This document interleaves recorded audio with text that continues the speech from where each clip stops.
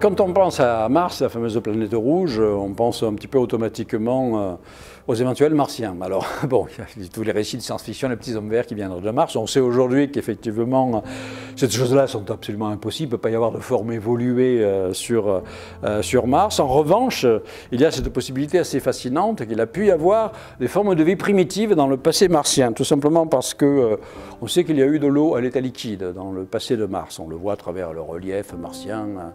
Euh, qui montre très clairement cette présence d'une eau liquide il y a entre 3 et 4 milliards d'années. Ça veut dire que lors de la formation du système solaire, vous savez, les planètes se sont formées à peu près à la même époque, dans les mêmes conditions, euh, il y a 4 milliards et demi d'années.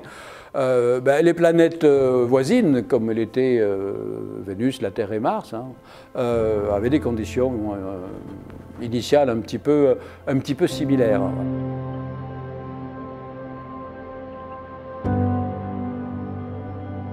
Alors les destins ont bifurqué, on a vu que Vénus est devenue un enfer torride à cause d'un effet de serre qui s'est emballé. Mars au contraire est devenu une sorte de désert froid, un petit peu pour la même raison, c'est-à-dire que Mars est nettement moins massif que la Terre et n'a pas, pu euh, euh, conserver longtemps son atmosphère. Donc le vent solaire a soufflé l'atmosphère martienne.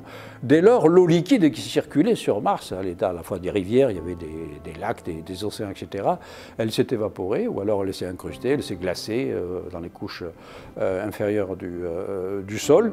Donc si on fait le pari, non encore éprouvé, mais qui reste relativement raisonnable, que L'eau et l'état liquide, c'est l'une des conditions nécessaires à l'apparition, à l'émergence de la vie nécessaire. Je n'ai pas dit suffisant, mais au moins on pense que c'est nécessaire.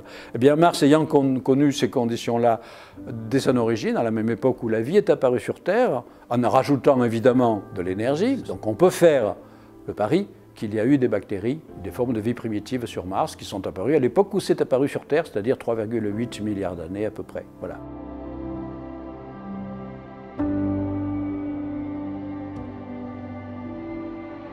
Après, euh, bah, sur Terre, on sait que cette forme de vie sont restées à l'état primitif pendant des milliards d'années, avant qu'il y ait des explosions de vivants et une diversification. Sur Mars, si ça s'est produit, rien ne garantit que ça s'est produit, mais si ça s'est produit, ça a dû s'arrêter relativement vite à cause justement des conditions qui ont bifurqué dans le mauvais sens. Plus d'effet de serre, plus d'atmosphère, tout est gelé, il fait moins 60 degrés en moyenne sur Mars. Au mieux, l'été à l'équateur, il fait 0 degrés. Donc euh, voilà.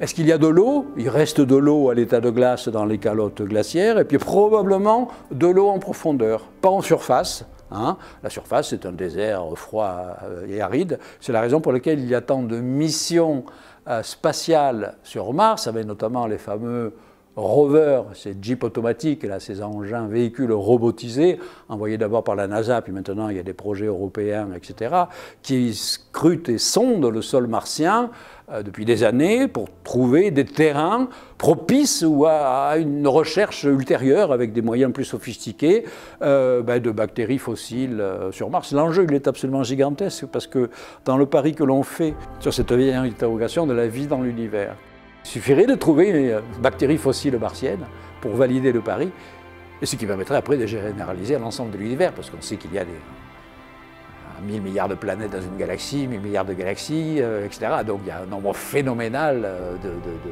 planètes de type terrestre ou martien susceptibles euh, d'avoir ces conditions.